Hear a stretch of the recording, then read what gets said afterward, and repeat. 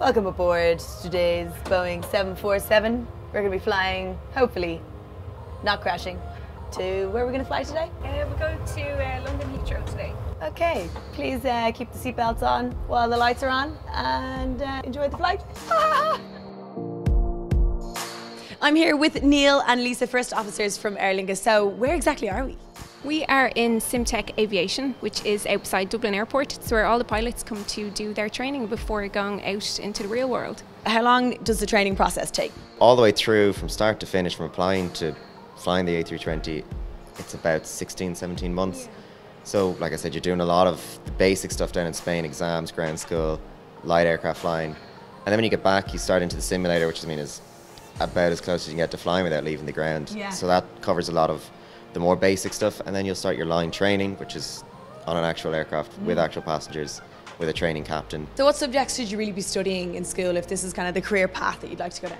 Well, if it's something you're interested in doing, those, like I say, those STEM subjects, science, technology, engineering, maths, those sort of things, physics, and that mindset, that idea will definitely help for a. Uh, a career down the line. Okay, so Bláthnaid, the big question is would you like to be the captain or the first officer? Obviously the captain. Okay. 100%. Where does the captain sit? In this side on the left. All right, okay.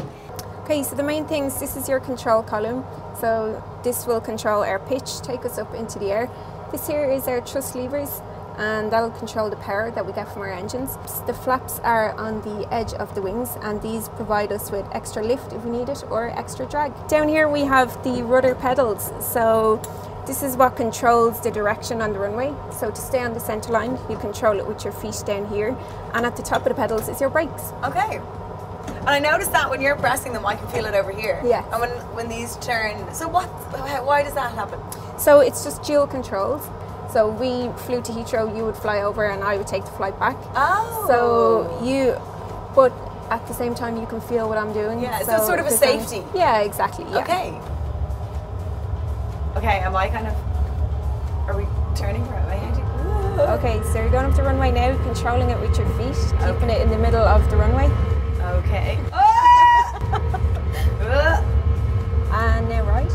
Okay. Okay, now you're straighten up. Okay. And pull back.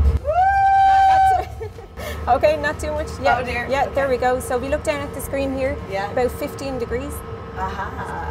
Uh -huh. for the entire flight, why are there noises? Okay, so it's just we're approaching our altitude now of 2,000 feet.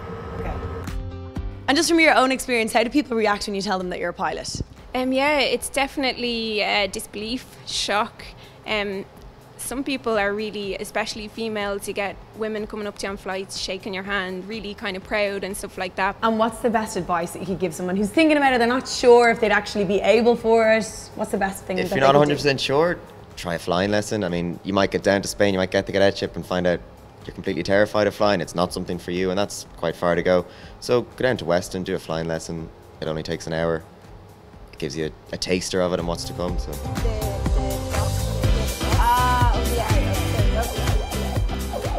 Oh no! Okay, I need here to. we go. Point down. Pointing down. Okay, here we go. Oh and dear, please don't crash. No! Oh no! Ah!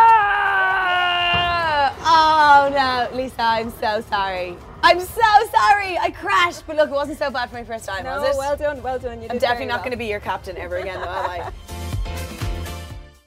I?